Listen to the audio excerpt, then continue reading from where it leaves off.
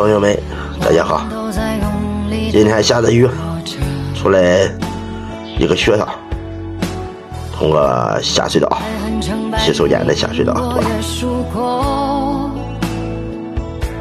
从下水道随便参观一下学校的现在的环境。这个下水道出现的是两路下水道，它是左边一路，右边一路。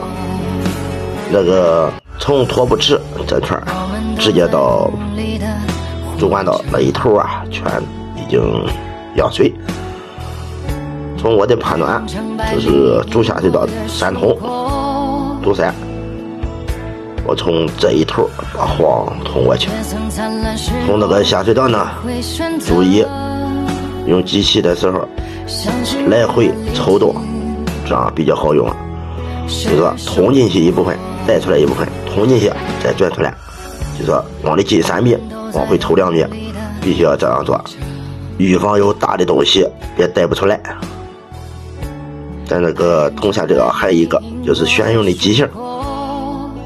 有些机型适合干小活，有些机型呢必须要有马力大，就是电机的功率要大，这样可以干点非常难干的活，也就是说堵得严重的活，这样可以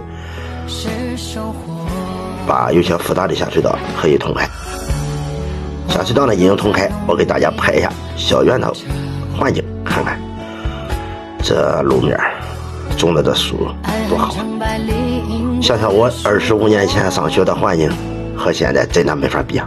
现在的小孩特别，哎呀，太好了！国家对教育的重视，国家的强大，从学校都可以看出来。